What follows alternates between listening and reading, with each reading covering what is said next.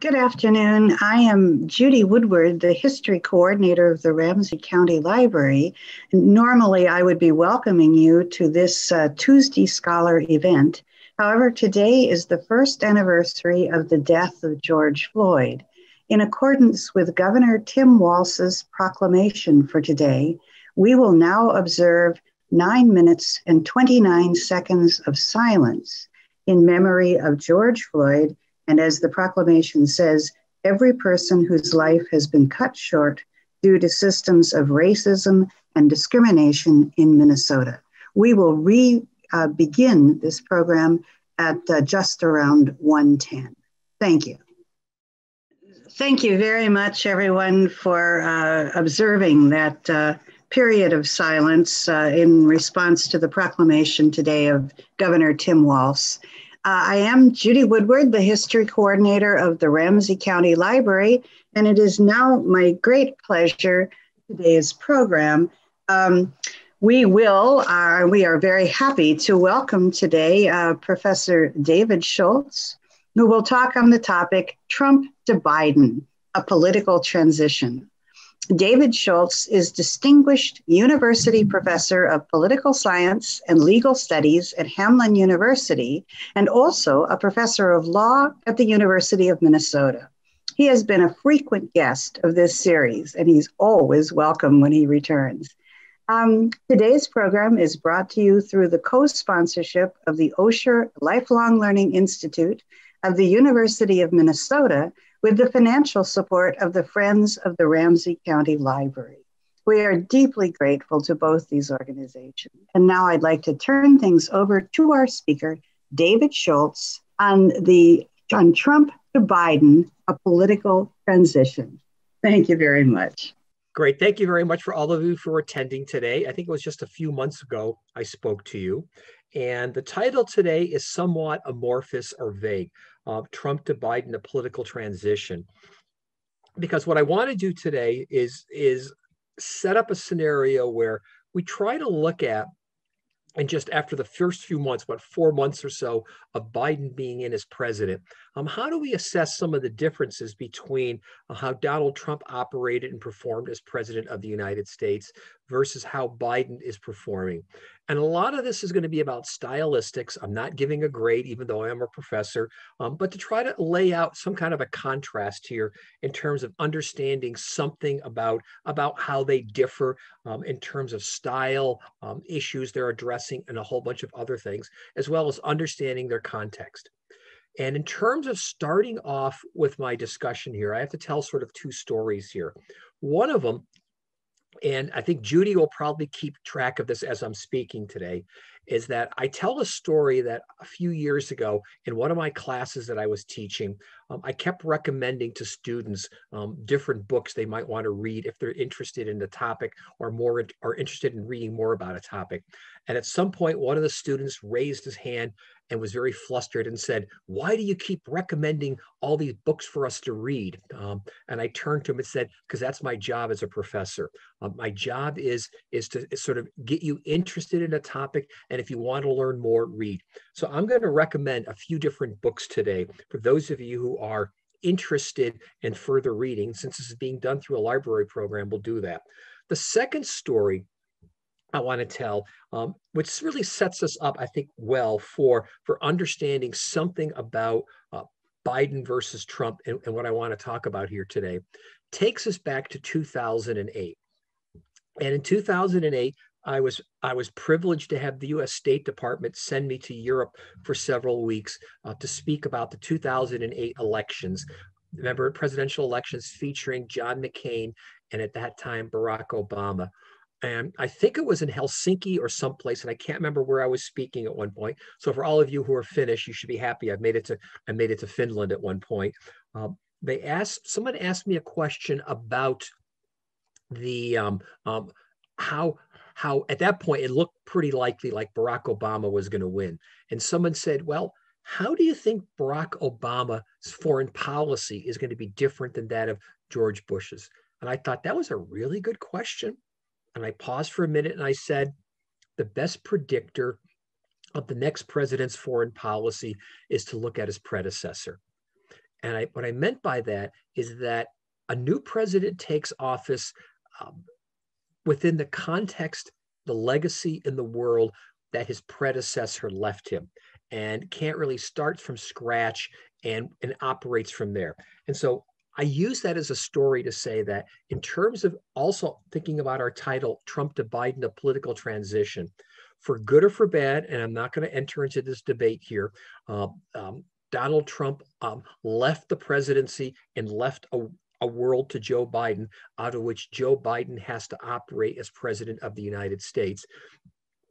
And as he gets further into further into office, presumably he gets to mold the office, gets to mold American politics, perhaps in his own image, um, and, and, and sort of re- redefine it. So, part of what we should be thinking about today, if my big picture thesis is correct, is that in the same way that Donald Trump inherited a political world from Barack Obama, out of which he tried to operate and make changes, plus was also caught by the circumstances and continuities from, from Obama. Same thing with Biden. He's operating from a world, a presidency that he inherited from Donald Trump. Thus, the notion of political transition and also transition in the sense of how Biden is trying to change things, right? So that's sort of the title here and what we're trying to come up with here. Now think about um, a, a, variety of just off the top basic differences, of course, we know between Donald Trump and Joe Biden uh, in terms of thinking about their presidencies. And I'm going to get to titles, by the way, very quickly and talk about those books. Um, think about it for the fact that Donald Trump came to the office of the presidency with no government and foreign policy experience um, whatsoever. Now, that is either good or it's bad, depending on your perspective. He ran as an outsider. He ran as somebody who said that, that we needed to bring an outsider set of experiences to Washington to be able to change things. He argued that the American political system was broke.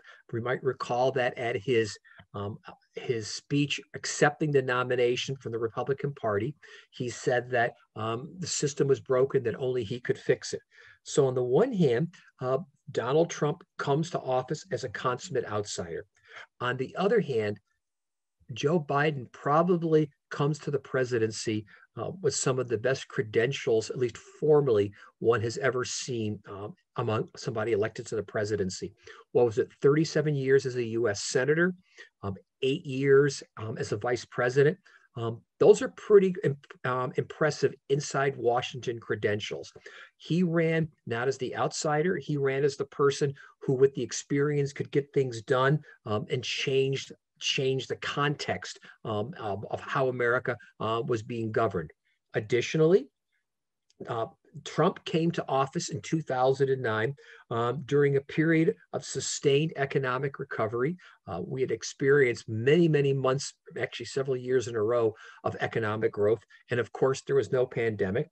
And Biden comes to office, of course, uh, facing a pandemic and a pandemic induced recession. Uh, both presidents came to office um, facing um, or came to office, rather not say facing, but came to office with unified governments but divided populations. And what I mean by unified governments, both Biden and Trump um, um, were elected with what? With both the House and the Senate um, um in the same party hands. Now, granted, Biden's margins are more narrow than Trump had when he inherited it, but still, that's important to think about here that there is a window that both of them had. And if we also think about it, even though they had unified governments for both both of them, they faced very very divided countries, um, partisanly, politically, and so forth. And I've talked about that in many of my other engagements, and I might have even talked about this when I was um, here to talk to you folks several months ago. And so we also should be thinking about finally their personality differences um, in terms of uh, the types of persons they are um, and how they approach the world. And we've seen that already, of course, in the sense of, of, of the different tones in office, and we'll talk about that as we go. I mention all this by way of sort of introductory comments, um, simply to say that, that there are some parallels uh, between um, how the two of them inherited their office, uh, and but at the same time, some very vast differences in terms of thinking about them.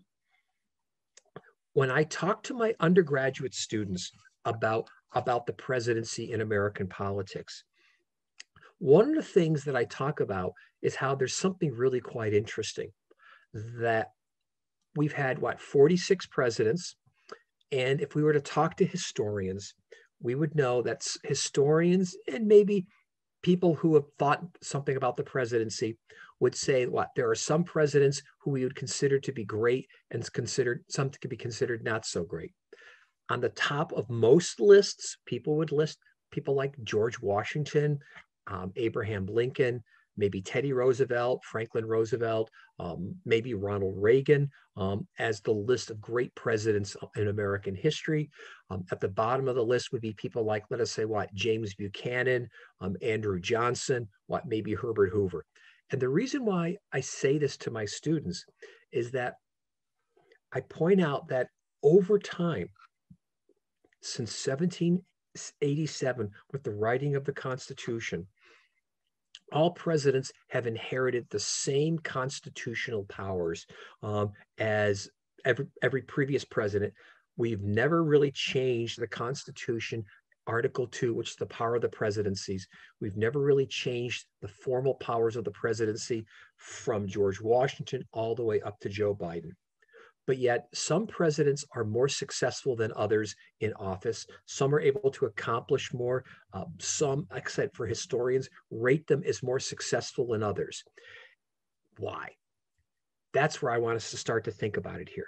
And here are four books that I want us to be thinking about um, in terms of the presidency that I think are just absolutely, um, and, and, I don't know which the order is, um, but these are probably the four of the best books ever written on the American presidency. And for those of you who want to sort of, you know, be more scholarly, read more about it, they're very good.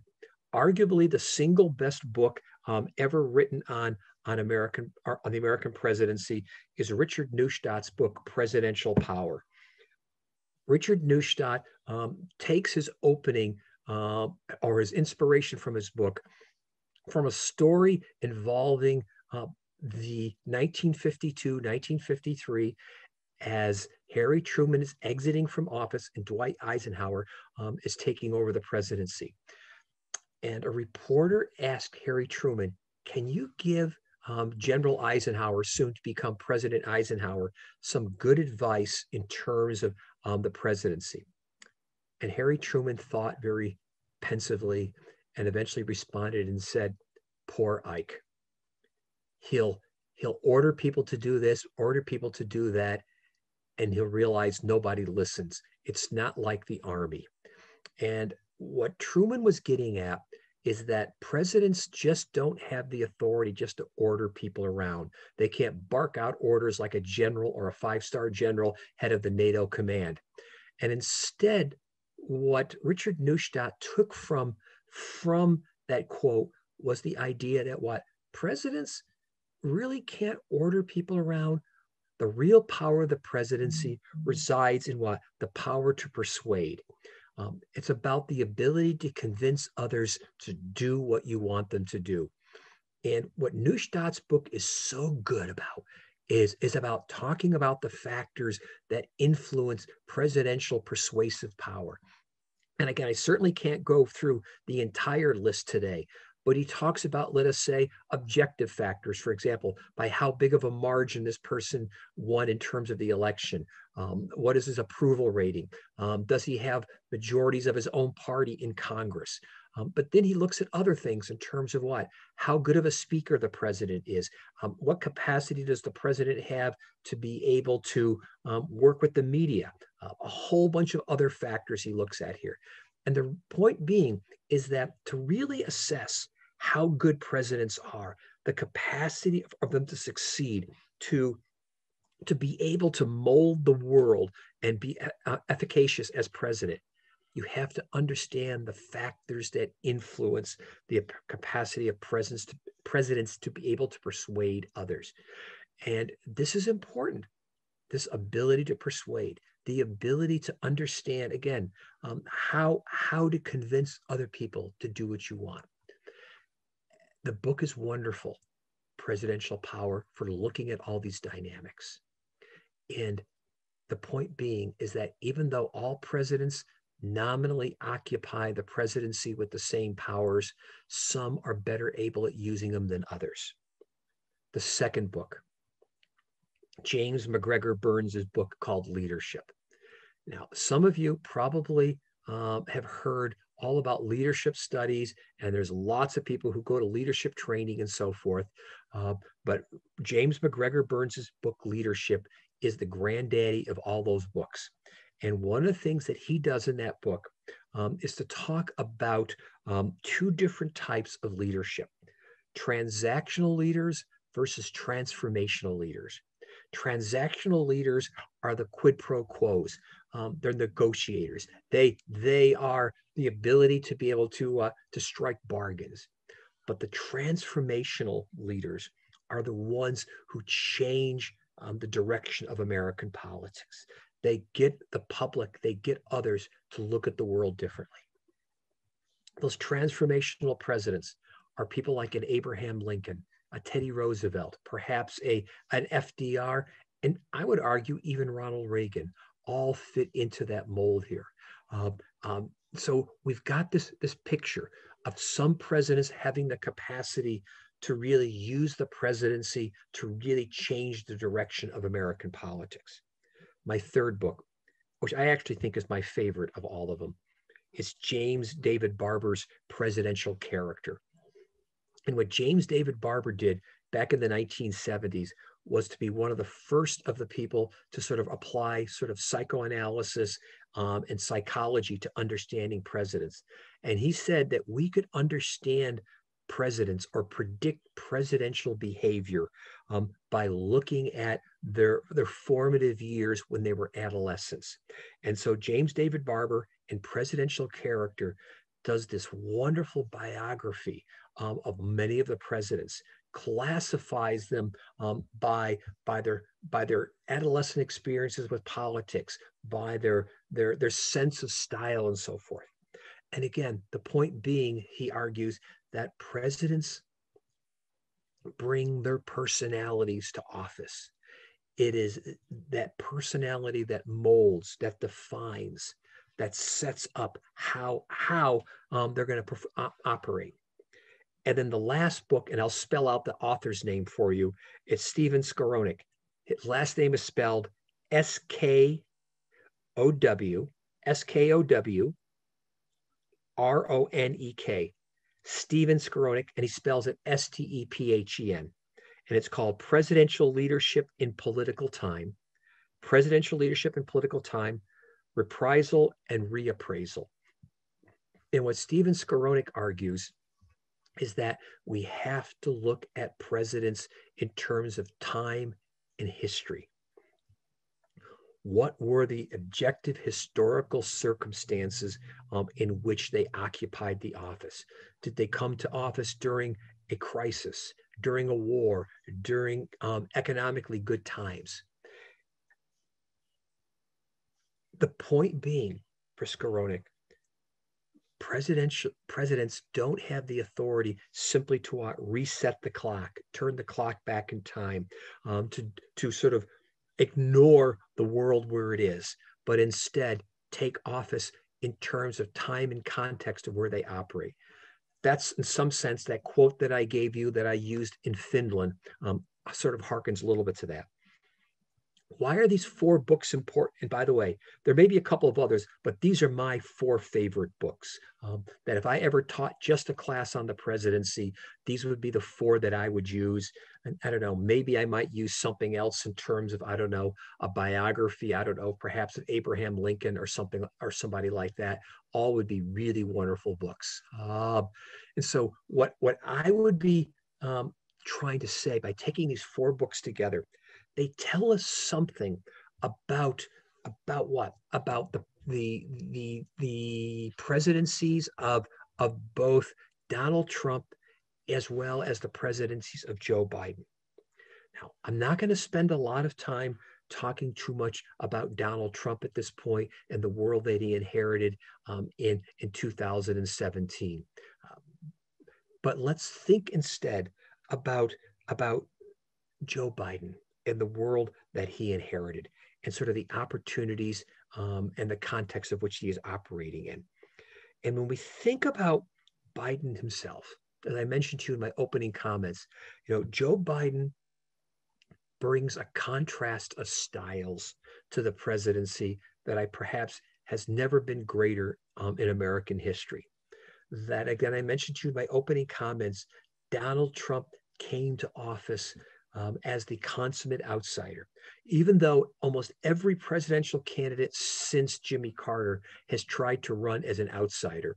Uh, although I was going to say um, George H.W. Bush um, couldn't make that argument really. I mean, he's like, in some ways, he was like Joe Biden, a consummate insider. But almost every president has tried to say in the last 50 years, they are the outsider coming in to change things. Trump came in, and I think both his attraction was the fact that he was an outsider. But at the end of the day, I'm going to argue that one of the, the failures of, of the Trump administration um, was, was the fact that he was an outsider. Now, for some, they will say it was what? The deep state that killed him. For others, it would be that what? Donald Trump never understood how to move the levers of government, never understood, as, as Richard Neustadt said, you just can't order Congress around. You can't order other elected officials around.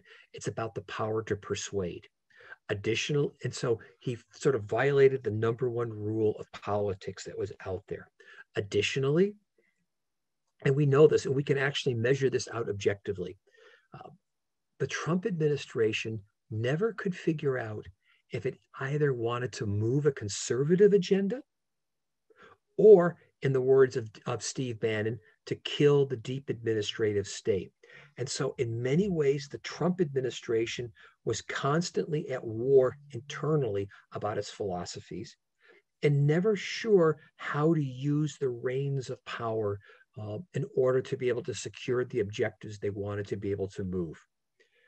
Where that pans out is after four years, if we look at, for example, the, the number of um, uh, executive orders that the Trump administration issued that were overturned. The Washington Post and other sources pointed out that when Donald Trump simply tried to sort of executive order his way through American politics, the courts stepped in because of legal violations. And at the end of the day, he had one of the worst track records in court of almost any president going as far back, at least probably 60, 70, 80 years. Had he been more successful, had he thought more about appointing people to office and keeping them in office who knew how to move the levers of government, he could have probably accomplished way more than he did. So, again, his strength and his weakness were his personality, his being an outsider, his being sort of like the CEO kind of mindset. All of this for some of his supporters, the attraction, for his detractors, a problem. But at the end of the day, it clearly undermined his capacity to be able to uh, um, to succeed on many scores. And as we do the transition into the Biden administration, why it's been relatively easy for the Biden administration to issue executive orders to undo very rapidly very much of what Donald Trump did. Additionally, Trump had that window, had that window in his first two years where he had majorities in the House and Senate, where he could have moved a lot more than he did. And after he got past the tax bill, for the most part, that was the singular major legislative accomplishment uh, that stands out for his administration. After that, his war with Congress, his war um, fi- fighting leadership of his own party, again, undermined his capacity to get more done than he possibly could have. In contrast, Biden, and I should also say one other thing, is that part of also what made Trump uh, both influential and also his downfall at the same time was his mastery of the social media, especially Twitter. Uh, for his supporters, they loved it. For his detractors, they hated it. Uh, but there was no question he was able to define the day to day news agenda in the United States by sending out what the tweets at four in the morning, of which then the, the American media had to respond to. In contrast, Joe Biden um, has taken a very, very different approach, uh, has basically largely ignored the social media, um, doesn't have a Twitter account, or if he does, um, it's being managed by, by the official um, White House press, um, press secretary. Um, additionally, as I mentioned to you in my opening comments, at least 45 years of experience in Washington as a senator and a vice president. Um, he is also chosen to bring into office uh, a lot of careerists. Now, again, for some people, that's not good. But for people who are saying they want stability, they want continuity, they want people to know how to do things in Washington, he has brought in a lot of people, including people from the Obama era, um, who are now um, at the head um, at the head of, of many critical agencies, and that's going to be very different because, for good or for bad, and we've already seen this, having these um, experienced people in place is making it easier for them to maneuver um, um, the, the, the bureaucracy to, to, maneuver with executive orders to be able to act um, in ways that he's going to be far more successful um, in using the levers of government than Donald Trump probably ever will be. Additionally, we have among things that that Biden has an opportunity to do something with is what he does have the most narrow of narrow majorities um, um, in both the House um, and in the Senate. Uh, he has moved some legislation, but he's going to be coming to sort of a political Rubicon very soon. Um, and the political Rubicon that is a line to be crossed, a reference back to Caesar from a long time ago, um, is that um, he's probably not going to be able to move very much legislation um, at this point um, with the filibuster rule in place. And at some point, he's got to decide does can he get rid of the filibuster rule? Uh, will Joe Manchin from West Virginia go along? Uh, because it's not looking like he's going to be able to persuade very many Republicans. And so when we think about the context of the presidency, the narrow majorities, the filibuster rule, the the depth of the polarization um, that he faces today is even greater than what Donald Trump faced four years ago. Again, thinking about the context, we also should think about the fact that that Joe Biden enjoys far higher approval ratings in office from the beginning of his presidency and to now than Donald Trump practically ever did. If that's an important factor in terms of the power to persuade, uh, i.e., from Richard Neustadt, then I think that is critical. Um, I also think that the Biden administration is less ambivalent on the issue of, the levers of power. That if the Trump administration was never sure um, the purposes of, of what they wanted to do with government, destroy it or use it to move the agenda, Biden is much clearer in terms of what he wants to do. Um, and, and so I put all this together to say that when we start to assess at least a transition here, starting to think about contrasts, we have clear contrasts in style. We have um, a, a sense in which I think uh, uh, the Biden administration is more cognizant of the elements that influence power, um, as Richard Neustadt describes them.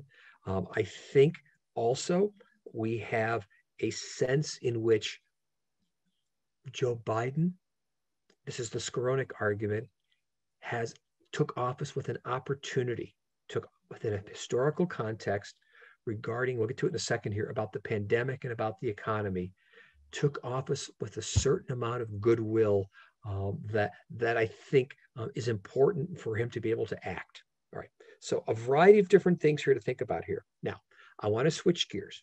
If these four books are about understanding the powers of the presidency, and these books help us frame a way of thinking about, I think, Biden versus Trump, and we clearly, I could say a lot more, and I could do this in Q and A. Keep in mind also, if we actually look at the formal trappings of presidential power, that those formal trappings um, are broken into three sources of power. One it's legislation, two, it's executive orders, three, it's political appointments. Uh, presidents have three ways of, of leaving an imprint, of creating what? Their transition formally. Um, one, it's through legislation. And as we know, Biden has been so far successful um, in moving, you know, the new pandemic relief bill. Um, that was uh, he has a whole bunch of other things on his agenda he wants to be able to do at this point um, in terms of what um, infrastructure, tax reform, immigration, police reform, election reform, global warming. I mean, his list is absolutely enormous. Um, most of that he needs legislation.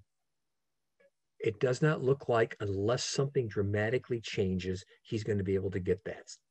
Uh, he's talked about wanting to be bipartisan. He's talk, talked about trying to reach out, but the two sides, Republicans and Democrats, are far apart. It just doesn't look like uh, there's much of a meeting of the minds there. So we're going to have to think about that as an issue. The second way presidents can achieve their transition, that is their imprint on the world, is through executive orders.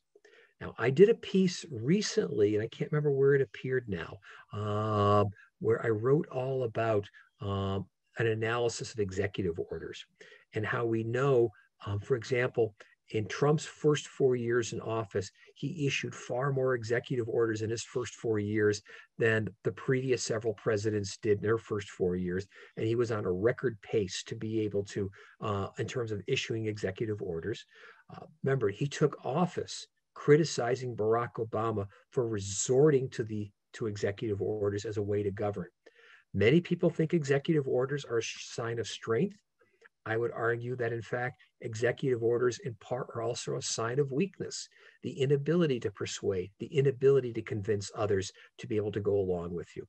And one of the things that we have learned over time is that um, with the, the increased polarization of Congress, it has led to a decrease in the amount of legislation being passed and an increase in the amount of executive orders being issued. But executive orders only can move the dial a little bit. Presidents just can't act like kings and say, wow, I'm going to do whatever they want. Um, as Barack Obama found out when he tried to move on issues such as um, DACA for you know for immigrants, um, or uh, or DAPA again for immigrants, or on clean power, there are outer limits regarding how far the president can go. Biden is going to be able to go somewhat in terms of using executive orders. He's so far been successful in overturning many of the executive orders that Donald Trump issued because why? Many of those executive orders had either already been overturned in court or the executive orders that Trump issued didn't carry the force of law and therefore were easily reversible um, by another president. But again, at some point, he's going to face the outer limits of what to be able to do if he can't get Congress to go along with him. And then finally, presidents can use their appointment power. What's been fascinating is that Joe Biden has been uncharacteristic for a Democrat. Usually, Democrats, oh, Biden was in that category, Clinton was in that category, are slow to fill administrative positions. Um, in fact, Biden has moved relatively quickly um, to do that, um, and especially even more quickly than Donald Trump did, who, again, as I mentioned, was never sure what he wanted to do with government. But the other area where Biden has been uncharacteristic um, is that generally Democrats have been very slow to move on on filling on judicial appointments. Reagan, when he took office back in 1981, was ready to go with a list of um, nominees for the federal courts.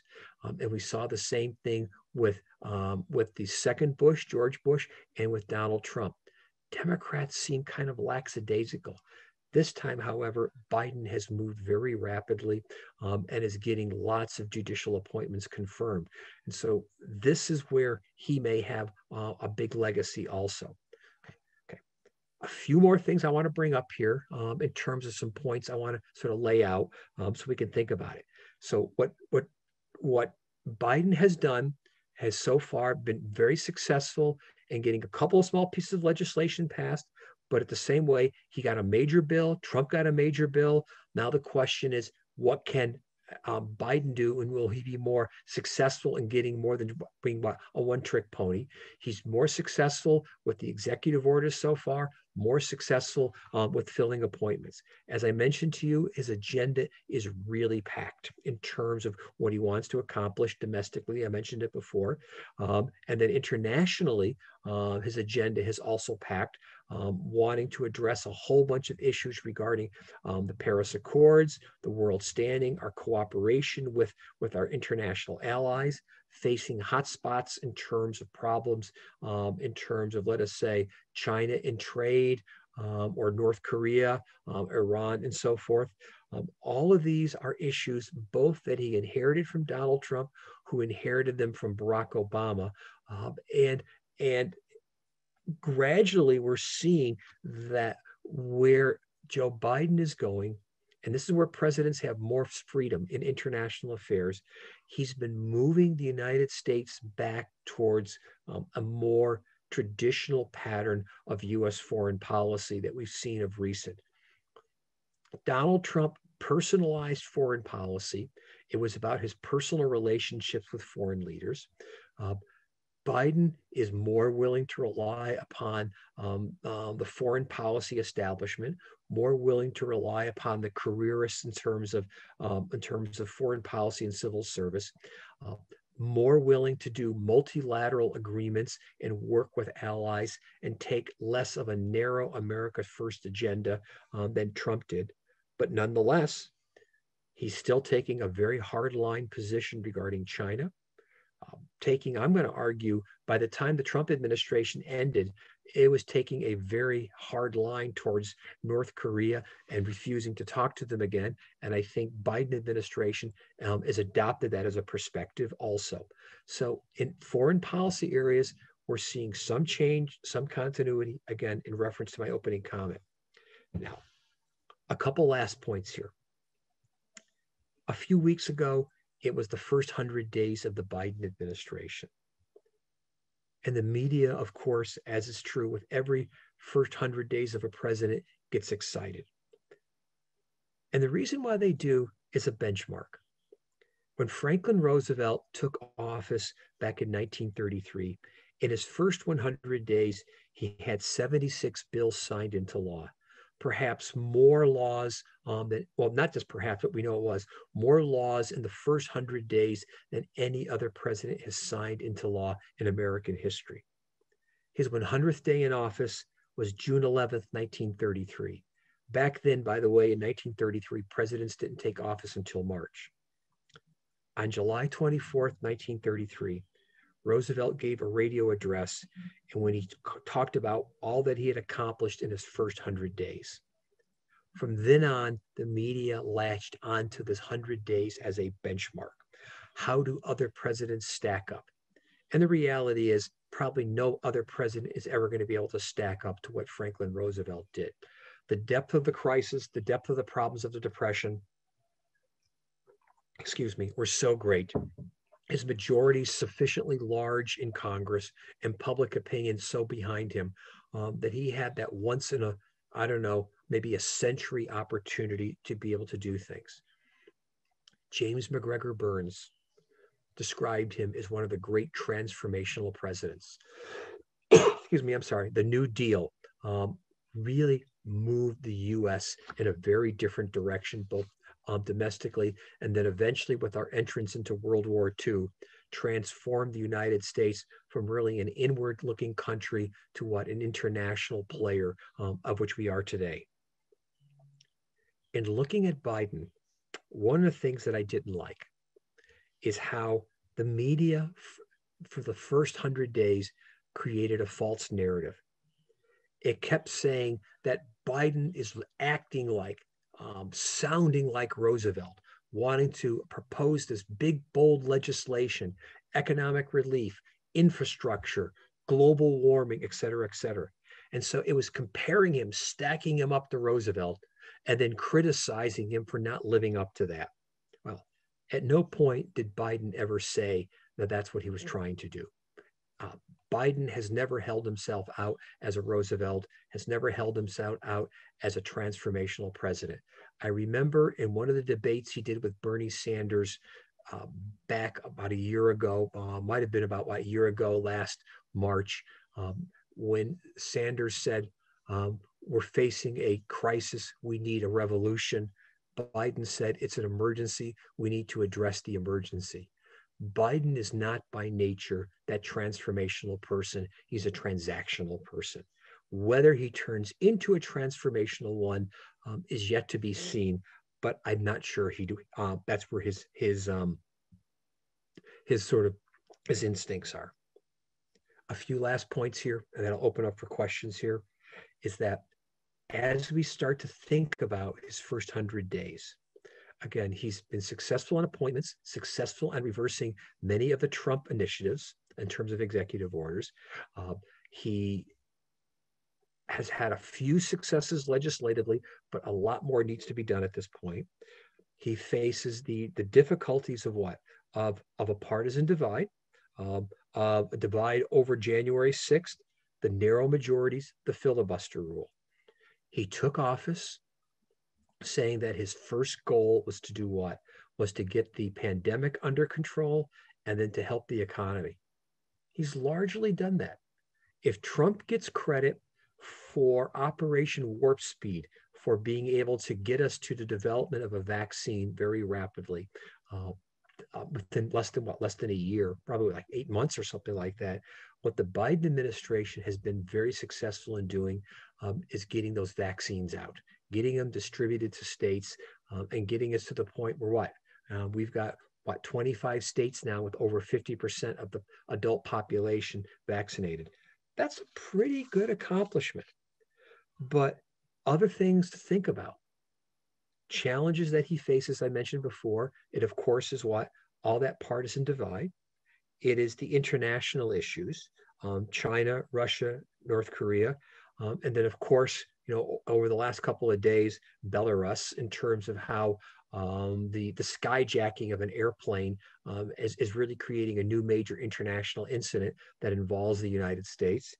And then this is the one year anniversary of George Floyd, the challenge of George Floyd's death, I should say, um, and the problems of racism, of policing, of getting the George Floyd um, um, uh, police reform legislation through, um, through Congress has been very difficult also. So last things to think about if Stephen Skowronek is correct about presidents occupying a moment in history, the United States after World War II, its economy was approximately 50% of the world economy. Today, it's 15 to 18%. We live in a world very different than the world of 70 years ago, even a world of four years ago we live in a world where the president faces enormous difficulties in terms of being able to transition the presidency, transition America in a direction that he wants to go. And what we need to be thinking about here is as we look at the next several months and then taking us into 2022 election is that generally presidents have their most influence in these first two years generally the president's own party loses in congress at the midterm elections suggesting that the odds are right now unless something changes the democrats may very well lose control of both the house and the senate or at least one of them um, how will that affect um, what the president wants to be able to accomplish moving forward. Okay, so I'm going to stop there. Um, certainly, I could have talked a lot longer. Um, I do a lot more in terms of the presidency, but I think I've given you some flavor of a few things to think about. Okay, and now it is the turn of the audience. I see the questions coming in, but we do have time for more. So please uh, type your questions in. I will try to speak fast. I know we lost about 10 minutes uh, and uh, we want to cover as much territory as possible. I also, I just want to say before we begin though, for those of you who are interested in the four titles uh, mentioned by Professor Schultz, I put them in the chat line as he spoke them And then I went back and I added them again at the bottom of the chat line in a slightly more coherent fashion. If anybody has further questions about them, just get in touch with me. I we probably have most of those books in the library. If we don't, we can get them. Okay, let's launch into the questions. Ah, the first one. All right. Regarding inheriting foreign policy, can you talk about whatever Jared Kushner was doing in Israel and what was the effect uh, on the current attacks on Palestine by Israel. And before we give uh, Professor Schultz a chance to answer this question, I want to point out we are going to have a speaker, Tom Hansen, on just this topic in uh, just a couple of weeks. So you can ask this question today and get one answer and maybe another answer or a you know, uh, an amplification of an answer in a couple of weeks. So save that question. But what uh, would you say, Professor Schultz? Well, first off, I would say I would defer to Tom Hansen, who, who, will, who will have a much better answer, I hope, to me than I do. Um, this was always a perplexity for me. Uh, Jared Kushner had no experience in government, had no experience in diplomacy whatsoever. Uh, he went over supposedly to negotiate some kind of peace deal um, and, and, and promised that there would be a peace deal. Well, there wasn't. Uh, and and and it is it is arguable on one hand he had no impact some people are arguing to say that well the impact that he had was to assure israel um, that we would be with them no matter what um, and therefore um, emboldened israel um, in terms of what's happened in the last few weeks um, at the same time perhaps um, undermined the palestinians uh, and, and therefore created sort of the the the mixture for for the flare up that happened there. That's one possibility. Um, so one possibility is no impact whatsoever. Impact number two, um, perhaps not a positive one. Uh, but at the end of the day, um, I was always perplexed that that there was if if careerists were unable to broker deals and address the underlying problems, geopolitical issues of Palestine and Israel in the Middle East. Um, I never thought that Jared Kushner was going to have success there. Okay. It's a testament to the power of uh, President Trump uh, on our imagination, if nothing else, that in your speech, the first two questions are both about uh, Trump or the first three questions looking at it. If Trump is reelected in 2024, do you think he will govern differently? Would he be a better president in his second term? Uh, first, I'm skeptical that he will run uh, in 2024. Uh, second, no, I don't think so. Uh, we, one of the other things which is typical of what you see of presidents when they're in office is presidents have a sense of learning curve and growth.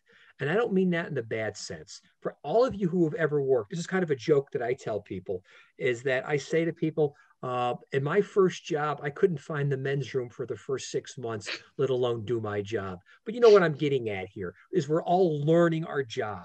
Um, and presidents transform over time um, and learn and grow. One of the things that we didn't see in the Trump administration is learning from their mistakes. And again, that point I mentioned about executive orders is that uh, that right up to the end, um, he was being beaten repeatedly in court um, by issuing executive orders that were not valid, didn't follow the proper rules to be made. And so I would be skeptical uh, that if he were to be elected again, he would change his philosophy of governance. He would put in um, um, and trust the careerists um, uh, to govern and, and help him govern. Um, and, and instead, I think he would what take the same approach as before. And so I, I don't see a shift in style. And if James David Barber is correct, and I think again, still my favorite of all the books, um, that our style our personal style for all of us, but in the case of presidents, is formed in our adolescence and it stays with us the rest mm. of our life. Yeah. Um, I guess the other way of saying it, I can summarize James David Barber's book in the old phrase, what? Can't teach an old dog new tricks. Um, so there's a certain amount of old dog, new trick there. Yeah. Hmm. Okay. And then a related question How do you think historians will rate uh, Trump in terms of best or worst of presidents? Wow. Um, these are always tough questions. I mean, mm. think about I'm going to pick two presidents in my lifetime and how they're being mm. reevaluated Lyndon Johnson and Jimmy Carter. Mm. Uh, Lyndon Johnson leaves office, you know, in the midst of of what uh, of, of Vietnam and so forth. 50 or 60 years later, people are looking back and saying, yeah, Vietnam wasn't good in terms of how he handled it, but his domestic agenda in terms of how much legislation he got passed, whether you like it or not, uh, was incredible. Uh, Jimmy Carter left office with historians rating him near the bottom. Um, a, horrible president. Now, I think most of us will concede and say Jimmy Carter might be the greatest post president we've ever had in American history. Uh, I mean, whether you liked him as president or not, um, his work with Habitat and so forth has just been remarkable. But Jimmy Carter's um, has gone up steadily um, um, um, um in terms of pre- in terms of historians you know it's it's it's a hard call on this one i mean if, if you had to do the immediate one right now in terms of saying you know, for factors that influence presidents, how successful was their legislative agenda, um, how transformative they were. Again, um, James MacGregor Burns, um, were they sort of like healers, uniting people? Uh, I think initially he's going to come near the bottom of the list. Um, whether or not, you know, long after we're all dead, um, do future historians view him differently? Well, what's the old joke? You know, if you want to write history, become a historian. Um, so who knows how he's looked at 50 years later. Okay, sure. All right. Uh, in light of the Republicans' uh, internal warring factions at the moment, do you think Biden voters will come out in larger numbers uh, than expected uh, in the upcoming midterms in 2022? Wow. Um, I'm not sure how to link those two together. I mean, clearly the Republicans are divided and they're at a war with themselves. Um, mm. How or how that does not impact uh, Democratic, or rather, let's say, let's say a Democratic Party um, turnout or turnout favoring Democrats, I don't know at this point. I mean, we generally know that um, in the first midterm elections, when a president is in their first midterm, excuse me, the president's party generally loses about 14 members in Congress. Um, if that's the case, uh, what's potentially going to happen is that uh, uh, Biden loses control of the House of Representatives and pass, possibly loses control of the US Senate.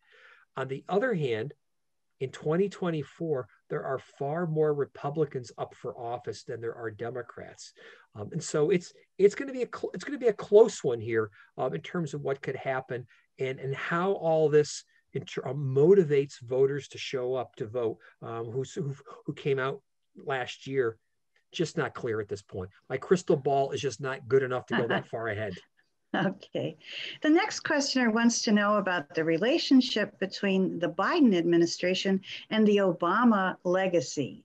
Is this the reason Biden is trying to move quickly? Um, how did how is he uh, mindful of the Obama legacy?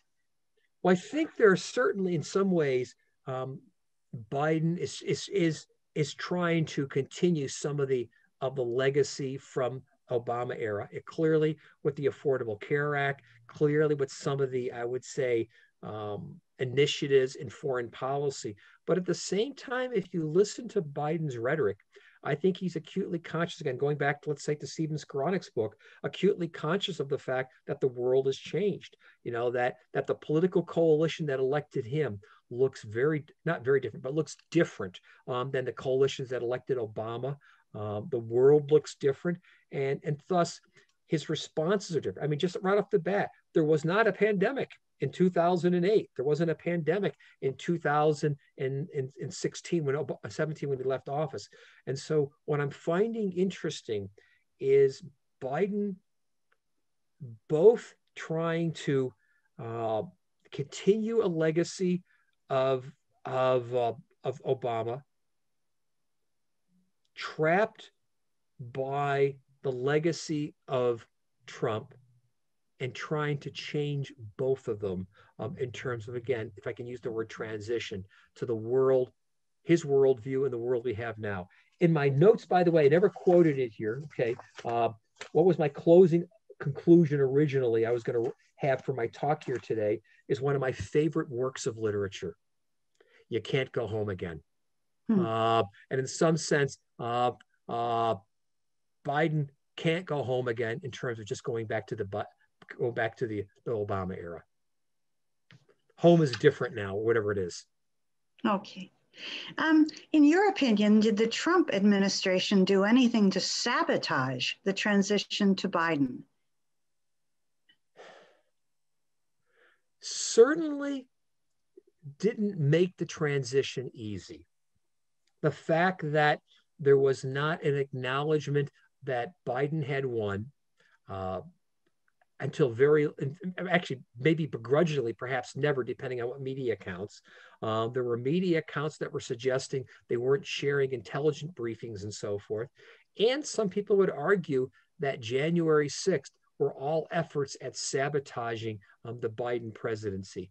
Um, and that's and that's perhaps the case but this is actually a really great opportunity for me to talk about something else um, along the lines here is that one of the things and I did a piece in The Hill. People don't know what The Hill is. The Hill is published in Washington. Uh, it's somewhat kind of the gossipy insider um, mm-hmm. um, newsletter, whatever newspaper in Washington. Um, occasionally, um, I, I do a piece for them.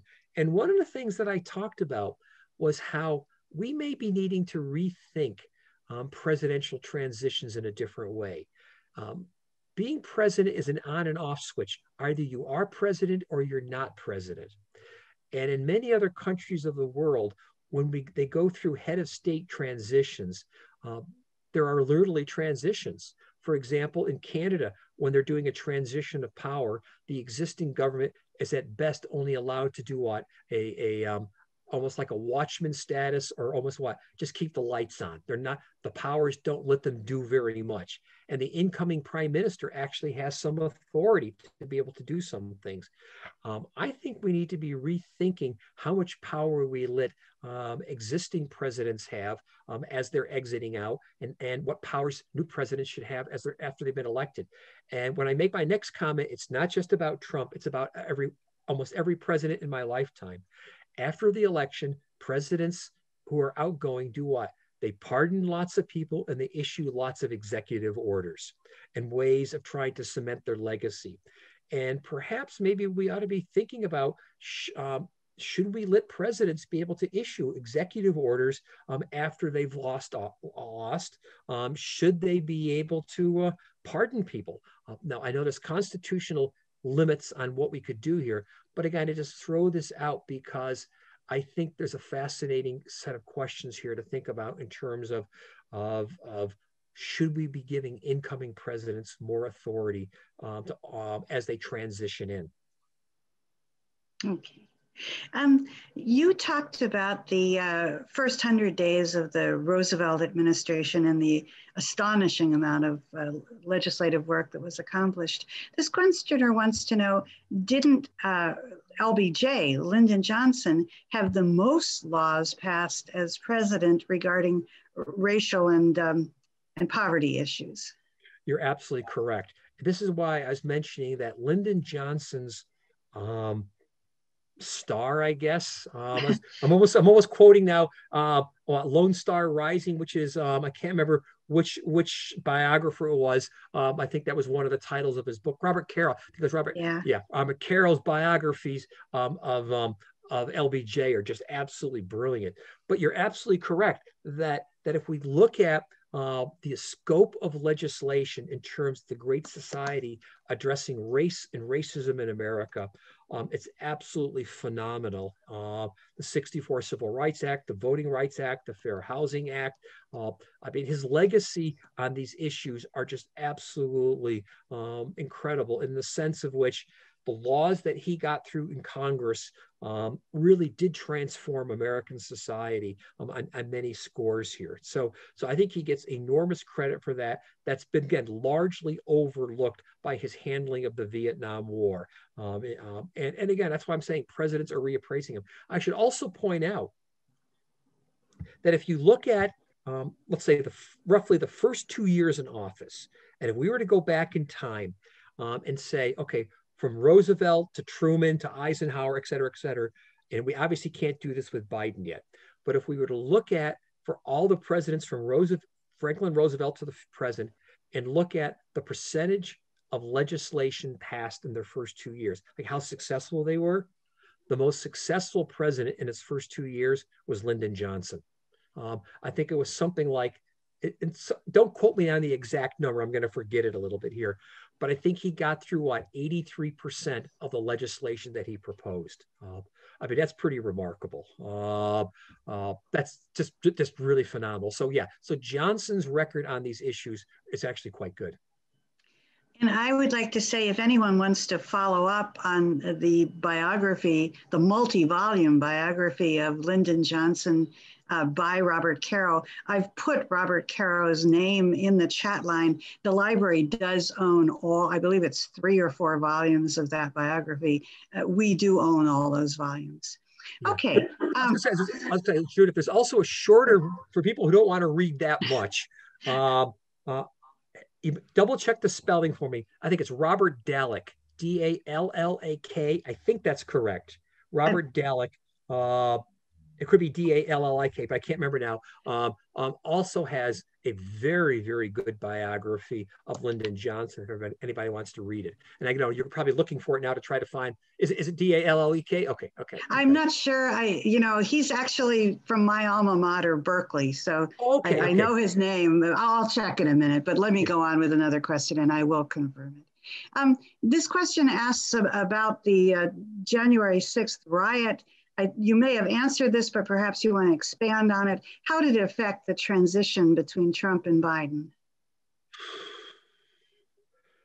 Well, how well clearly, well, a variety of things. One is that it forced Biden into something that he didn't want to have to deal with initially, which is the aftershot of of of, of January 6th.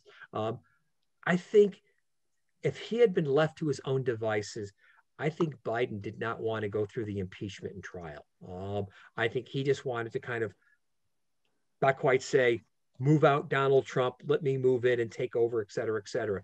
So I think the fact that that Congress had to was was obsessed with with um, the impeachment, with the trial, um, um, and even right now, where it is fighting over is it going to authorize a January 6th commission? I think has helped deplete some of the political capital uh, that that that uh, was that's necessary for Joe Biden um, to do what he wants to do, and and I do think it also just polarized America even more. If we couldn't have been as if we weren't divided before, January 9th divided us even more. And that's surprising because in the initial few days after it, I thought America came together and said, this was really horrible what happened you know, I mean, somebody might correct me on this one here for those of you who are sort of amateur historians, but I think last time um, the Capitol might have been ransacked, might have been the War of 1812. Um, now, I know the White House was burned in, in the War of 1812, but I can't remember if anybody can sort of tell Judy and she can tell the rest of us here did when the british came in the war of 1812 did they also ransack the capital? uh, i can't remember now um, but if, if they did that's the last time it happened Okay, I will look that up for everyone. Um, I've read this questioner says that Biden has a short fuse in private, that he is very impatient when he doesn't get answers right away. Will he have a hard time keeping good staff? Also, there is talk that he may have cognitive issues. Well, please comment.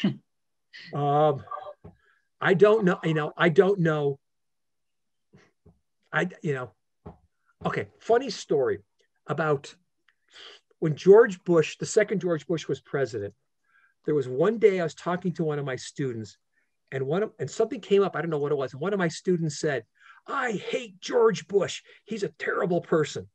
And I turned to the student I said, Oh, do you know George Bush personally? Have you met him? And they say, No. And I said, Well, how do you know he's a terrible person? And the reason why I say that, I don't know Joe Biden um, personally. Um, I don't know what he's like privately. Uh, I don't know how much of this is true, how much this is rumor. I know people have been sort of cl- claiming he's got short fuse. Some people say not a short fuse. Some people are saying that what um, that he's got cognitive issues. Well, we all have cognitive issues, I guess, at some point. Uh, so I don't know. I don't know how to answer that question. I saw an article, was it the Washington Post or the New York Times in the last day or so, um, that said that what part of what Joe Biden spends his day doing um, is a lot of reading. Um, he works, tries to work out every day. I don't, I don't know. I really don't know um, about sort of the, have any real personal insights into Joe Biden as a person. Okay, well, from a quick reading of uh, uh, Wikipedia, it does appear that the War of 1812 was the last time uh, the Capitol was sacked. Um, and the Capitol was attacked, I should say. Um, okay, uh, can you comment on the challenges that big tech poses? And how have the two presidents differed in their approach to that issue? Boy, big tech. Hmm. First off, I would recommend everybody, Amy Klobuchar, our senator, has a new book out um, on antitrust law and competition policy, uh, which the library should get. It just literally came out last month or so. Hold on a second. I could even show, aha, since I just finished reading it a few days ago. Uh, okay, la-da, there it is. Okay, so that's the book. Uh, Amy Klobuchar is doing. And she has a great discussion in there uh, on, on sort of big tech. And what she's sort of arguing right off the bat is that we all might find it fun to go on Facebook, Twitter, and Google, uh, but she points out, as others have, the threat that these three monopolistic entities pose in terms of information um, and, and, a lot of other ways in terms of um, how we organize our society. Amazon is the same thing. We all might have been thrilled about Amazon during the pandemic, but it's helped kill a lot of small businesses. Okay, the reason why I mention all of this is that we've all benefited from big tech. Uh, at the same time, we're all being hurt by them. Uh, I think it's too soon to tell in terms of where the Trump, or rather the, uh, the Biden administration is going to be in terms of big tech. Are they going to move uh, more aggressively on antitrust activities? Um, how are they going to deal with privacy issues and so forth? Um, the Trump administration um, had a love hate relationship with them. There's no question about it. Um, Trump benefited from the social media, was the master of it, of Twitter, but at the same time, hate, hated um, the social media, uh, especially Facebook and that, for the ways he thought that they were censoring him. It's just too. It's just not clear at this point uh, where the Biden administration is going uh, on, let's say, competition policy um, or broader um, how they think about um, big tech. But I will say, as much as we may all hate big tech on one level, they are an enormous driver of the U.S. economy at this point, um, and we can't um, simply um, say we don't care what happens to them. Okay, I, at this point, I am going to insert a question that I myself have been wondering about since extremely late on the night of January 5th. When you spoke to this group in mid December, you forecast that uh, Republicans would win both of the Georgia Senate seats. As we found out on January 5th, you were wrong, and uh, Georgia flipped the Senate. What happened? What what what what surprised you? What why were you wrong? Okay. As an astute fellow like yourself, why were you wrong? well, well, well, first off, I would say uh, I'll use a line that my father said: is that uh, if you could be that predictive uh, or that accurate, if you could be completely as accurate uh, on everything, you should be playing the ponies and not, you know, uh, getting in politics. Okay, so so yeah, I, I, I occasionally get them wrong. Now, I'm doing my new edition of my presidential swing states book. I have a person um, who's an expert on Georgia. And I had spoken to her and I said to her, are they going to flip Georgia? And she said, no, I don't think so either. So, so mm-hmm. even the expert um, on Georgia, you know, and I don't consider myself an expert on Georgia politics. Um, so, um, so what happened there? Um, I, th- I, think a few different things happened here. You know, one of them um, is that I think Georgia was the, you know, I hate to use the phrase perfect storm. It was the combination of, of the pandemic, um, the Trump alienating college educated um, whites who didn't like the way he was handling the pandemic, didn't like the way um, he was talking about race. Um, I think there was um, a high percentage of, of, of people of color in, in Georgia compared to other southern states and the population that was urban, uh, which was voting Democrat, uh, was, was, was very high. And I've got to give Stacey Abrams credit for an incredible political mobilization. Um, having said all of that, I mean, remember the results were still narrow, uh, very, very mm-hmm. narrow in that state at the, both the presidential and at the Senate level. And so, on one level, we were within. You know, I got it wrong, um, but we were within margins of error you know, the sense is that what move 5,000 or 10, whatever the numbers were, move 10,000 people one way mm-hmm. or another, uh, we would have very different results. I mean, at one point I mused and thought, well, maybe the Democrats win one of the seats, but not both of them. But I said, nah, we're so partisanly voting, it's going to be all or nothing. And I went with nothing and I got it wrong. all right. Um, Okay, well, I'm going to say now we have just about 10 minutes left, and I apologize to everyone whose question I'm not going to get to. These are all great questions. I'm going to try and speak quickly and steam forward so we can get to as many as possible. Um, how concerned are you about Biden's age in terms, and Trump's age in terms of uh, power succession? Well, that's, and I guess.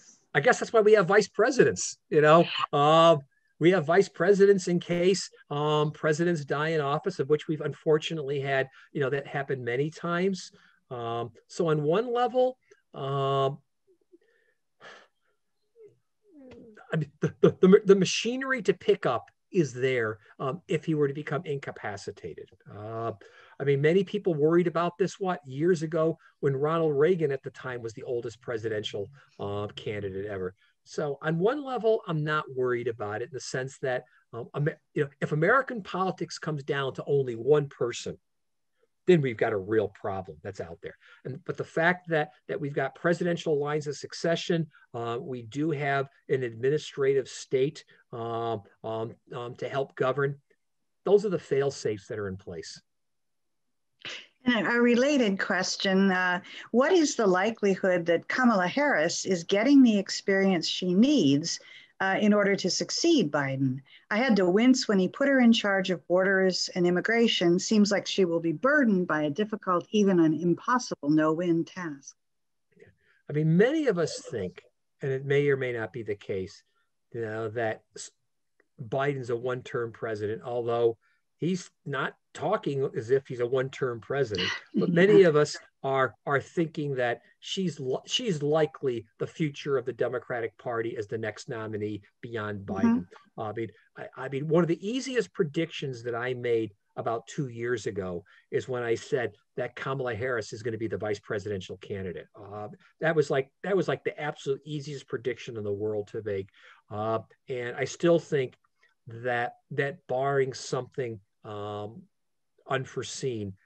If Biden doesn't run in 2024, or if he does and he wins again, or, or whatever happens like that, uh, the next presidential candidate for the Democrats after Biden will be um, Vice President Harris.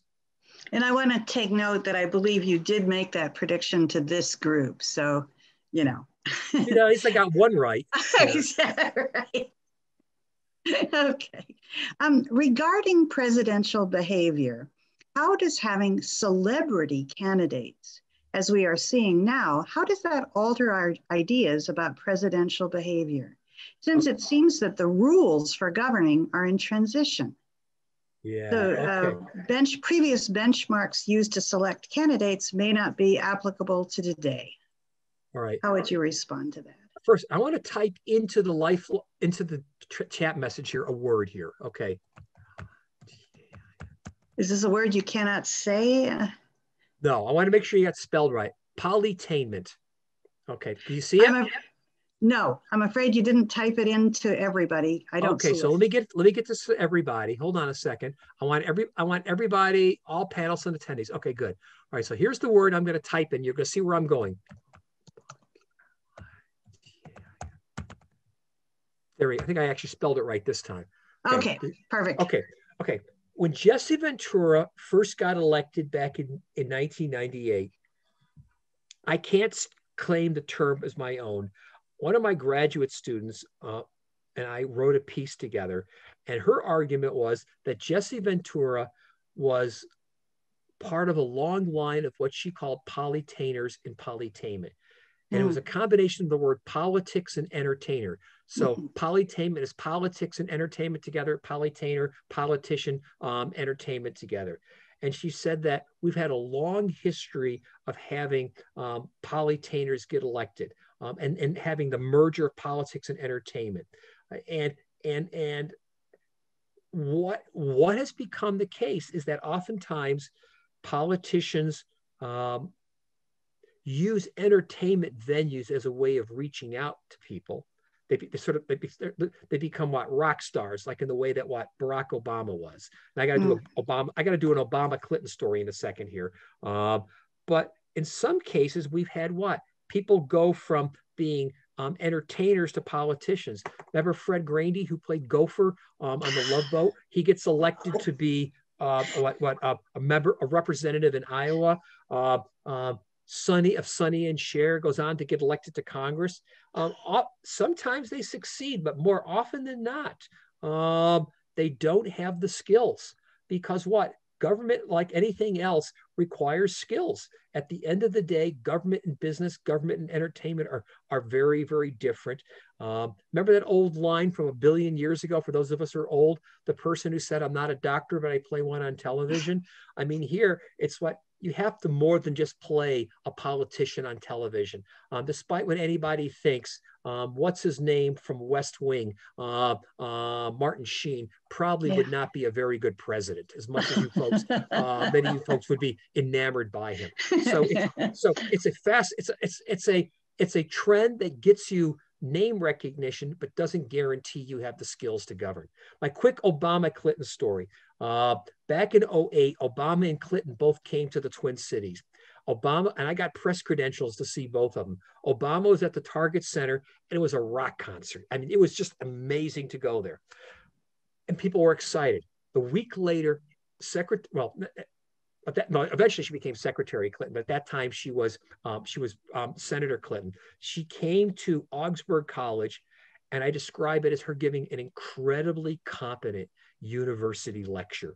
Yeah. And I mention that because she was competent, she was smart, but there was no electricity. Yeah. And somewhere, even even people who are competent need to have that little bit of electricity to get people excited. Yeah. Okay, we're going to try and cram in two more questions here because we got such interesting ones. Please talk about the ballot review in Maricopa County in Arizona. Well, it's it's there is a narrative from Trump that many Republicans have adopted right now that it's a stolen election, that Trump didn't win legitimately, and I think in part the recounting in Maricopa County um, um, is trying to appease that faction of the party. This is the faction that's at war with what? Um, with Representative Cheney, you know, in Wyoming. And so what we're going to find, it's going to be really interesting at the end of the day.